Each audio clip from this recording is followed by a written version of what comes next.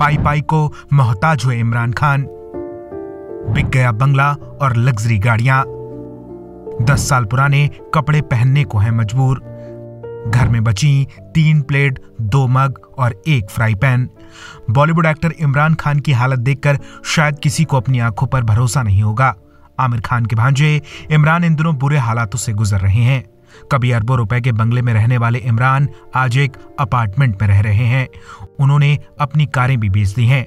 उनके पास सिर्फ़ प्लेट, मग और फ्राइंग पैन ही बचा है। ये खुलासा खुद इमरान ने एक इंटरव्यू में किया है। अपनी पहली ही फ़िल्म जाने तू या जाने ना से ही इमरान स्टार बन गए थे। हर लड़की उन्हें अपना दिल दे बैठी थी।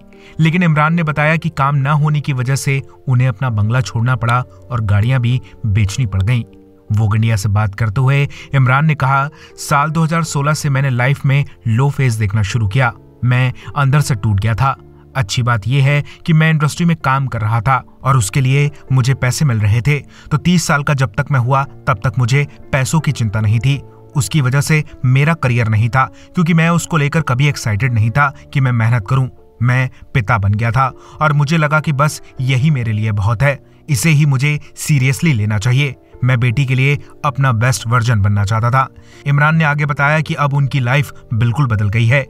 पहले जहाँ वो पाली हिल के बड़े बंगले में रहते थे, अब वो बांद्रा के एक अपार्टमेंट में रहने लगे हैं। उनके पास किचन के सामान के तौर पर तीन प्लेट, दो कॉफ़ी मग और एक फ्राइंग पैन है। इमरान को अपनी फरारी गाड़ी भी बेचनी पड़ी। इमरान ने बताया कि अब वो इतनी सिंपल लाइफ जी रहे हैं कि आमिर खान की बेटी आयरा की शादी में वो अपना दस साल पुराना सूट पहन कर गए थे। इमरान ने अवंतिका मलिक से शादी रचाई थी। हालाँकि पिछले साल ही दोनों ने तलाक ले लिया। इमरान इन दिनों लेखा वॉशिंगटन को डेट कर रहे हैं। हाल ही में इमरान ने सोशल मीडिया पर फैंस की डिमांड के बाद अनाउंस किया कि वो कम कर रहे हैं। इसके लिए इमरान पूरी मेहनत कर रहे हैं। वो फिटनेस और बाकी ट्रेनिंग भी ले रहे हैं। इमरान आखिरी बार फ़िल्म कट्टी बट्टी में नज़र आए थे, जो साल 2015 में रिलीज़ हुई थी। इमरान की हालत देखकर उनके फैंस को बहुत तरस आ रहा है। ब्यूरो रिपोर्ट, बॉलीवुड पे चर्चा।